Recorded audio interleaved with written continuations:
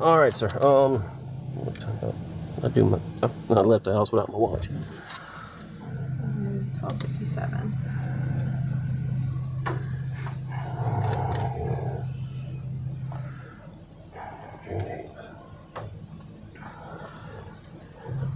All right, Mr. Murdaugh. Um, just state your full name for me, please.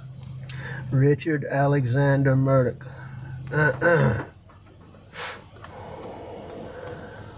And spell your last name so I get it correct. M U R D A U G H. All right. And you go by Alec. Yes, sir.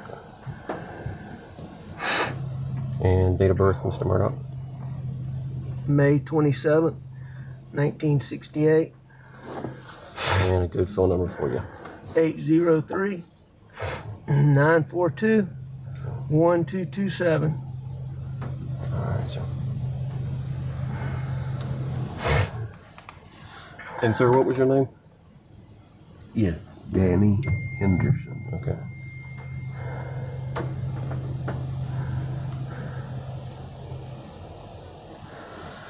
All right. Um, as I stated, I'm David Owen in uh, Laura Rutland with Colleton County, and I'm with SLED.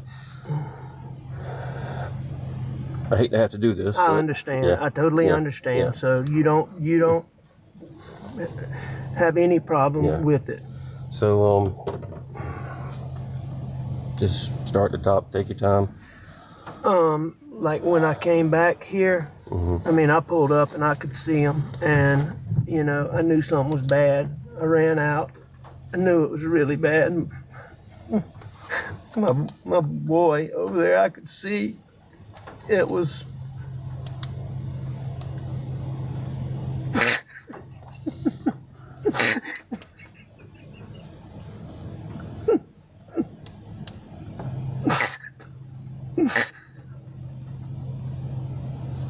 I'm so sorry. and I could see his brain on.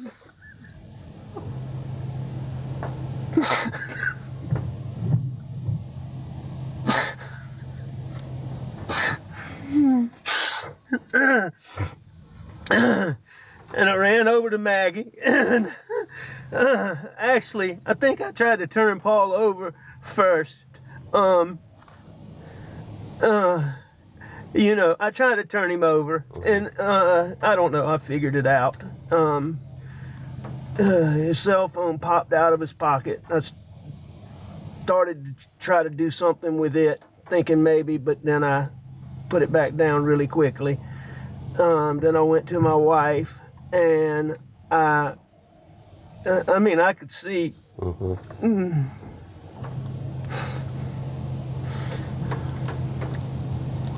Did you touch Maggie at all? I did. I touched them both. Okay. I tried to take, uh, I mean, I tried to do it as limited as possible, Mhm. but I, I tried to take their pulse on both of them. mm-hmm.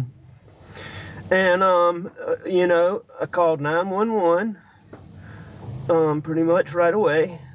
And she was very good. Um,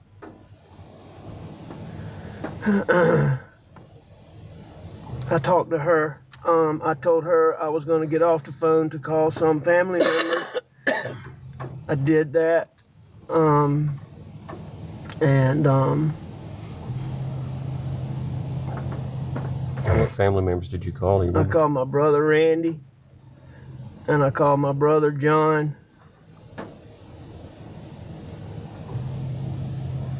And I tried to call a little boy, real good friend that's right around the corner from here, but I didn't get him. Okay.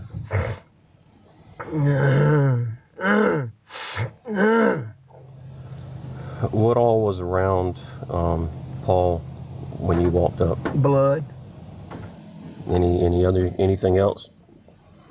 I mean, there was some body Mhm. things, yes, sir. I mean, like any other evidence. I know you said the phone fell out the pocket, um, but did you see anything else that didn't belong or shouldn't belong or that wasn't part of Paul? No, sir, not, no, not, the- no, sir, How about Maggie? no, sir. You didn't see anything around them? What made you come out here tonight? Um, I went to my mom's a late stage Alzheimer's patient. My dad's in the hospital. Um, my mom gets anxious when she does. I went to check on them and Maggie. Maggie's a dog lover and she fools with the dogs. And I knew she'd gone to the kennel. I was at the house. I left the house and went to my mom's for just a little while. Tried to call her when I left. Texted her, no response. Um,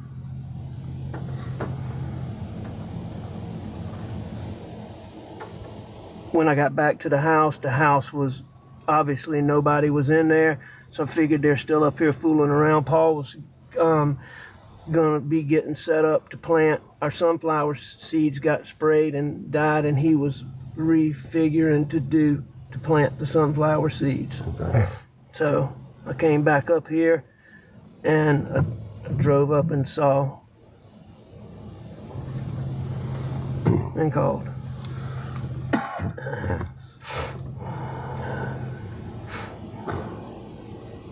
Had Maggie and Paul been arguing over anything? No, What was their relationship like? wonderful, Wonderful. How about yours and Maggie's? wonderful. I mean, I'm sure we had little things here and there, but we had a wonderful marriage, mm-hmm. wonderful relationship, And yours and Paul's relationship? as good as it could be. How old was Paul? 22. Okay. You know his date of birth? I do. April 11th, 96 is his brother's. April 14th, 99 is Paul's. How about what's Maggie's full name? Margaret Branstetter Murdaugh, And her date of birth, sir? September 15th, 1968.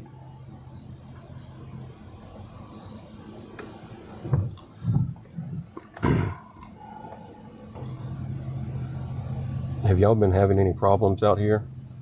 Trespassers, None people that, breaking in? none that I know of. The only thing that what comes to my mind is my son Paul was in a boat wreck uh, a couple years ago. Mhm. and there's been a you know he was charged with being uh, arrested for being the driver.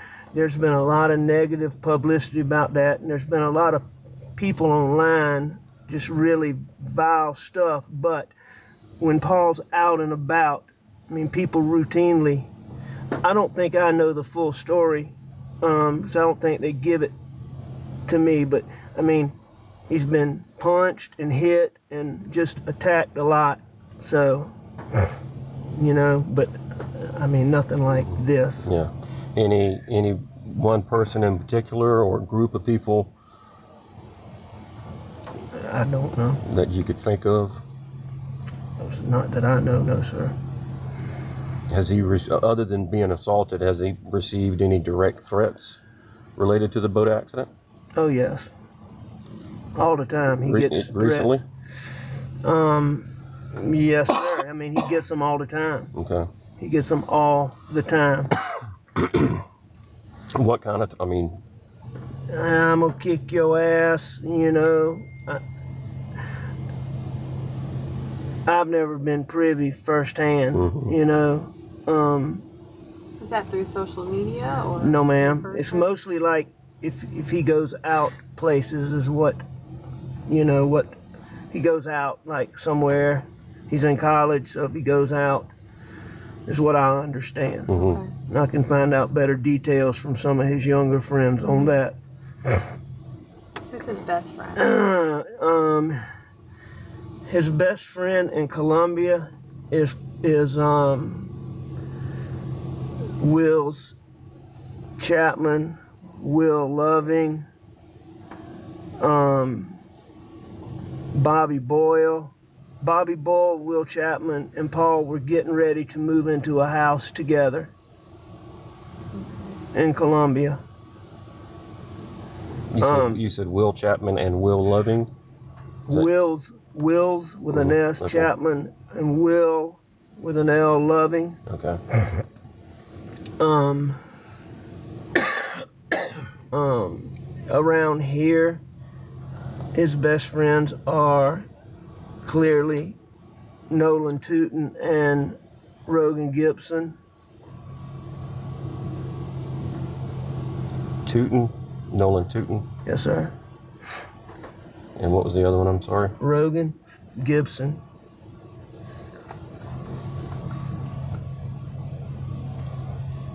Have you talked with any of these guys tonight? Talked with Nolan. Yes, sir. Is he out here? Yes, sir. Okay. I tried to call Rogan. Was one of the people that he's the boy that I told you lives Okay, around the corner. okay. That's very, you know, he's just a good, helpful young man. You mind if I open the door really go right, quickly? go right ahead. Do what you need to do.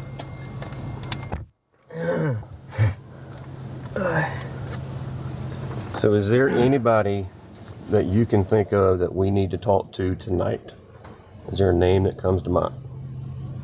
I mean, I can't tell you anybody that I'm overly suspicious of off the top of my head. Okay. You know, um, I mean, this is such a stupid thing. I'm even embarrassed to say it, but it just didn't make any sense. I just hired a guy out here, Mm-hmm. and he really he wasn't cutting the mustard, but I hadn't told him this yet. Paul's been working with him a lot.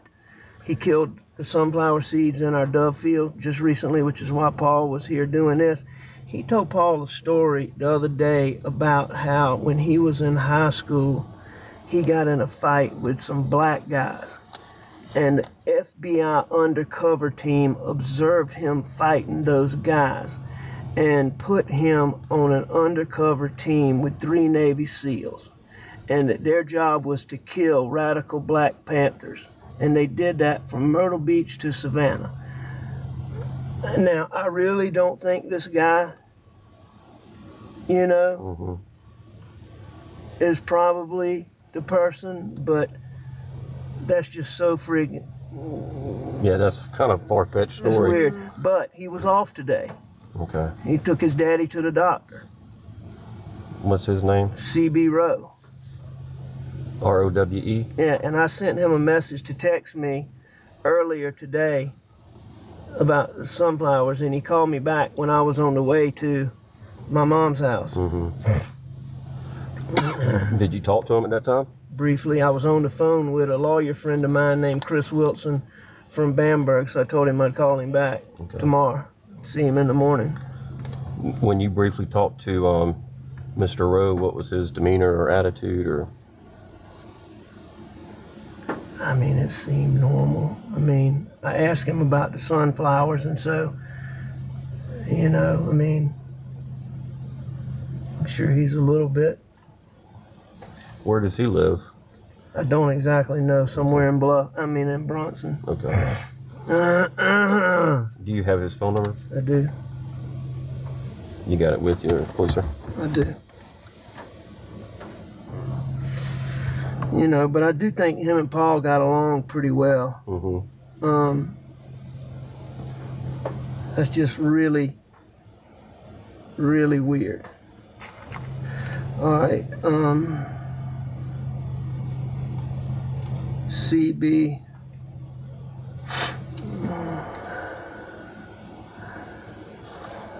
Right there, in lap. Here, I know he called me, so I'll go to that.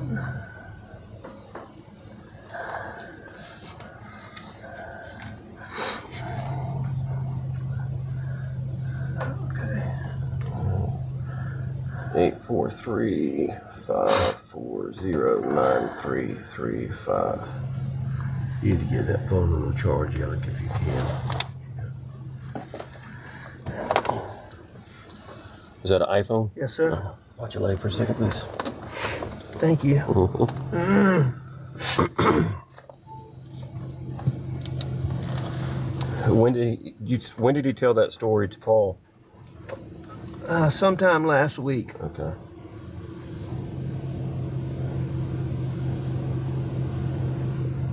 sometime last week. Um,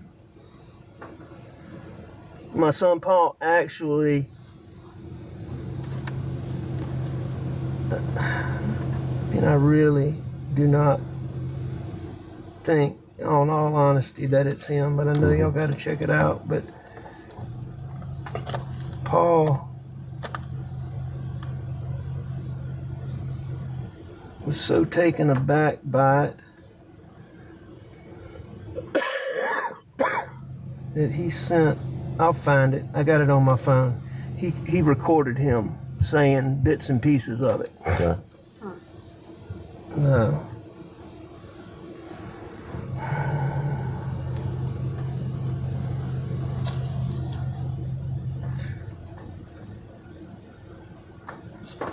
But for all his weirdness, I, I mean, I do think they like. I mean, they got along Okay. pretty good. How long had he been working here? uh, I guess about um, three or four pay periods, so um, eight weeks, a couple months. Okay.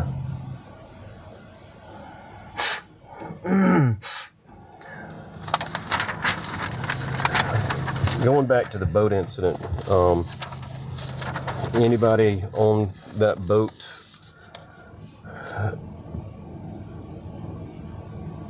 really have a hard on for Paul that you would think would come after him or know of any direct threats from people on the boat?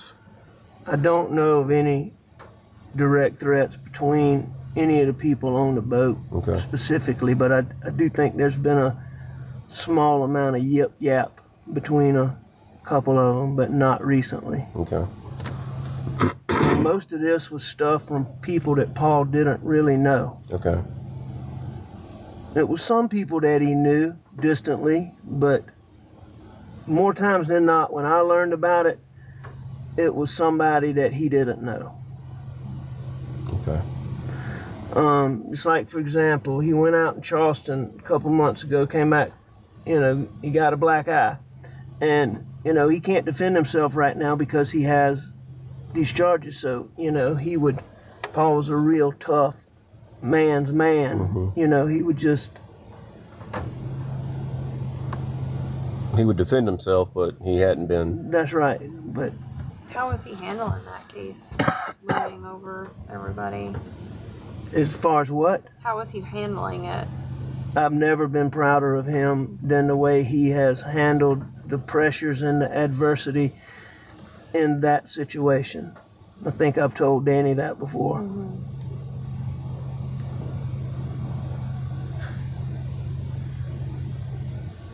I mean, Paul is a wonderful, wonderful, wonderful kid. He can do almost anything. He gets along with almost anybody. Do y'all store any weapons out here? Um, we don't store them, but they're, you know, they're frequently out here. I Mhm. need to find out if there were any out here because I know there was a shotgun. There was a 12 gauge shotgun out here. Uh, I'll have to find out exactly when that was. I think it got put up, but I'm not positive. What did that shotgun look like? Uh, it was a camouflage. Uh, I, I want to say it was a Benelli or maybe a Beretta. I can't remember which brand it is.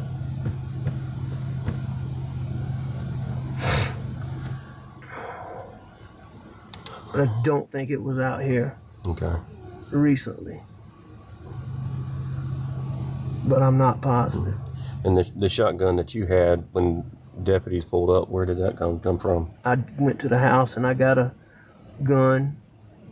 Probably overreacting, but And was that when you pulled up and saw them? no, I, I mean I came out and I mean I called 911 first, Mm-hmm. Talked to them for a little while, and then I told her You told her. that I was that I was going to go to the house Okay. and that I would let authorities know when they got here that I had a gun. Okay.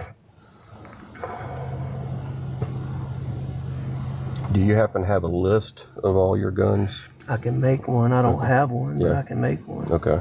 Well, I'm just saying, you know, so we could compare if that shotgun was out here and now it's missing. Absolutely. Um, try to figure figure that out.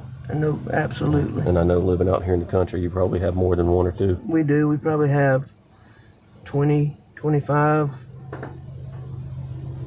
guns, Yeah, shotguns, rifles, rifles. pistols. Any rifles? Yes, sir. What kind of rifles? All kinds. Yeah. All kinds. I mean, you name it across the board, we have them. Okay. And I mean, they're all of them we have are, you know, in a hunting room in our house.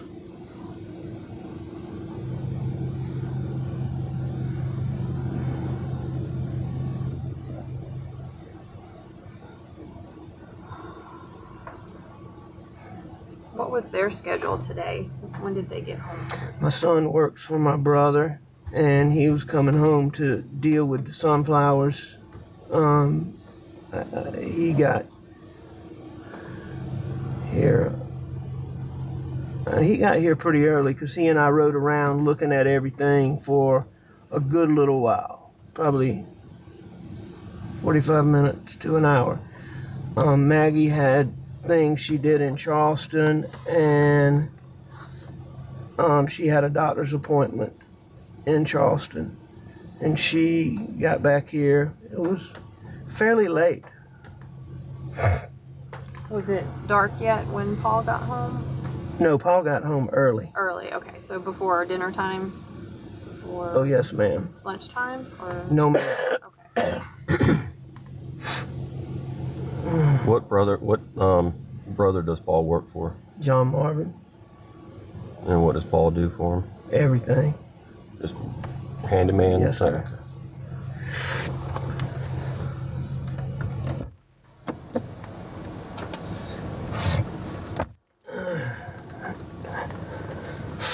Was it unusual for Maggie to feed the dogs this time of night or check on them? Oh no, I mean she played with those dogs every, all the time, and it's especially common for her to, you know, she's been gone for a while to Mhm. come and let, especially two of them out to run.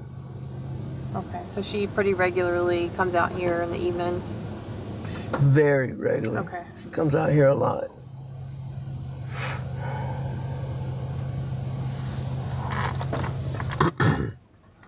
Have any cameras on your property? I have deer cameras, but none, you know, around up here Where are they at? on on different deer stands. Okay, so deep in the woods. Well, not necessarily deep in the woods. Some of them are in fields, and Okay. um, but I don't. There's none that, you know, are near here. Okay. Um, what doctor's appointment? What doctor did Maggie see today? Um, I forget the guy's name. Maggie's been having trouble with her. She's been having trouble with her stomach and her tooth. I'm not positive. It was sort of a routine visit, and I can't remember. She told me the name of him, and I can't. I want to say Gordine, Gordine, Gordine Okay. Is um who I think she saw.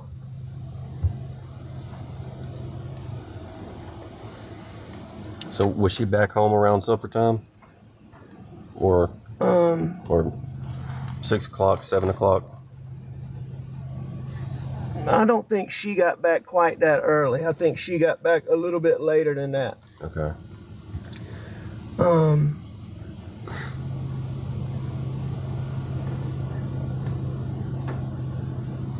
what did you do today? Were you at the office or? nope, I was home. I came home. Paul and I messed around. I, I, uh, I was up at the house. I laid down, took a nap on the couch, probably, I don't know, 25, 30 minutes. I got up. I called Maggie. Didn't get an answer, and I left to go to my mom's. She had said she might ride with me, but she normally doesn't when I go over there. Um, and I think I texted her. And she's very good about answering the phone, so that was odd, or calling me back. So Mhm. that was odd, but it wasn't that big a deal. Around what time was that? What time was what? That you sent her a text message?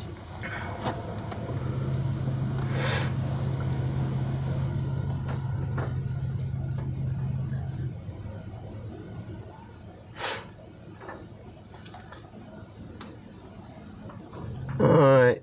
Um, I checked, texted her at 9:08, going to check on M. Be right back. And then I texted her at 9:47. That must be when I started to come back. I think I called her before that, but let me make sure. Uh, pretty sure that I called her 9:45, and then I tried Paul. And then, no, I think that was riding. Um, I think that might have been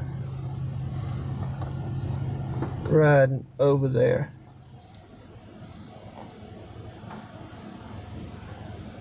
Ten oh three. I mean, my calls are right here. Yeah. So, um, obviously, this is when this is when I at 10:06.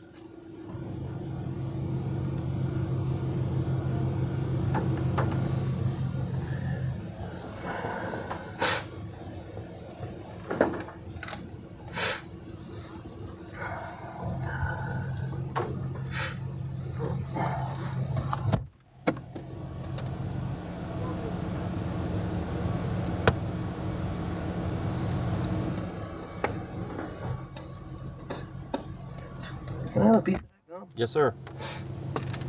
Ah, thank you. Mhm. Take the coffee. Anybody else want some gum? No, sorry. You don't have any water, do you, Danny? That's all right. I don't need it. If you behind Danny's head is a case of water. It's not a big deal. Yeah, I got some right here. Oh, well, thank you. Thank you, ma'am.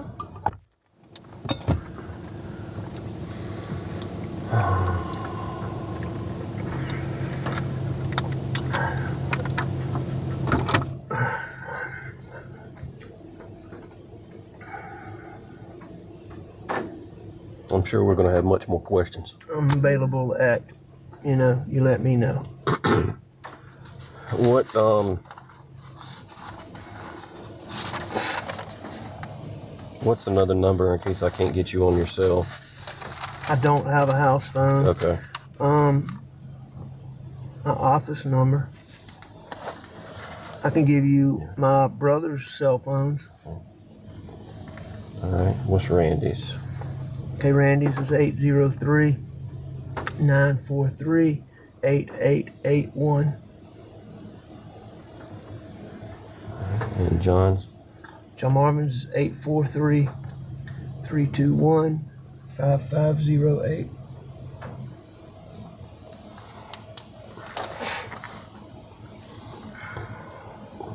And you said your dad's in the hospital? Yes, sir. How, which which hospital? Charleston or Savannah, Candler, St. Joseph's. is he doing okay or what's Uh, he's having a really, really hard time. He's got a lot, lot, lot, lot going on. okay? You know, he's um,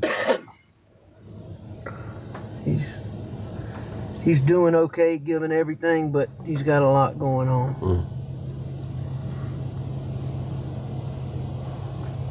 About Maggie's family, where are they?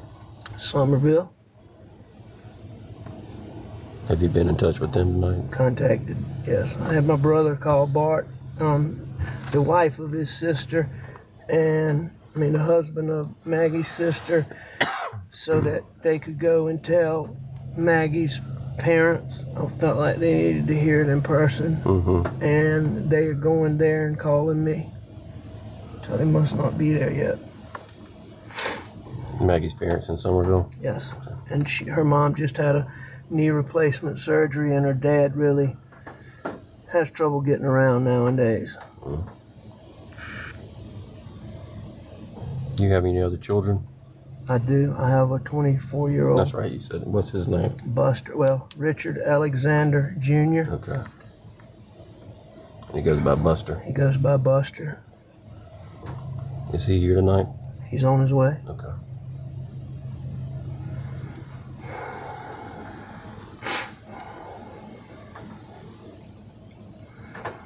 Laura, you got anything? Um, this one's hard, but when you first saw Paul, you said you tried to flip him over. Was he laying on his back or on his stomach? Just like he, he Just like he is. So you weren't his- able to move him. Okay. No, ma'am. Okay. And did he help Maggie a lot out here with the animals? He helped everybody with everything. Okay, so it was kind of routine for him to be out here as well in This- the evening. This place is his absolute passion. Okay.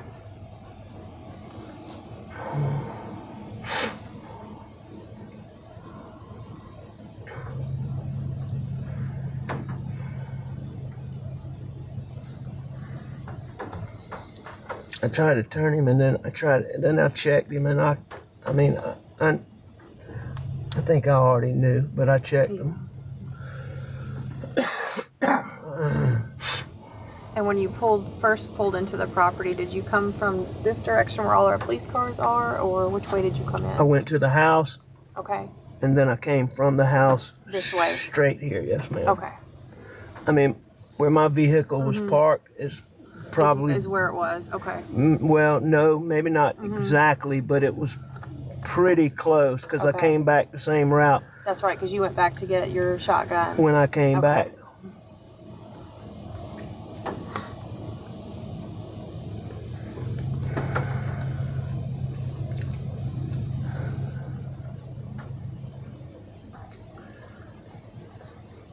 All right. Um, I can't think of anything else right now, but you know, we'll certainly be in touch. Um, Thank y'all for everything y'all are doing. yes, sir. So, you know, just to kind of let you know what's going to go on, we're going to be out here for quite some time. Um, the coroner will take custody of Paul and Maggie. Can I answer Yeah, that? go ahead. Yeah. What?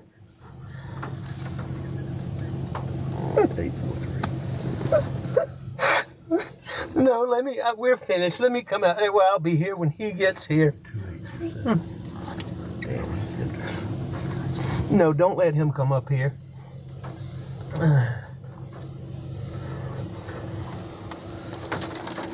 Okay, yeah. I think we're about done. All right, thank you. So, I'm sorry. Buster, get in here. Yes, sir. Um, I dropped my card. That's all right, okay. we'll get you Another another one? Sorry. I'll get you one. Here you go. Thank you. Um, you know, so the coroner will come over and talk to you. Um, you know, they'll do the autopsy and everything, and then go from there. Thank Um, you. But we'll come see you before we leave. Thank you very much. Yes. Thank you, Thank yes, Miss Rutland. Yes, sir. Thank you very much. Here, you want this water? Oh, yes, please. Thank you. Yep.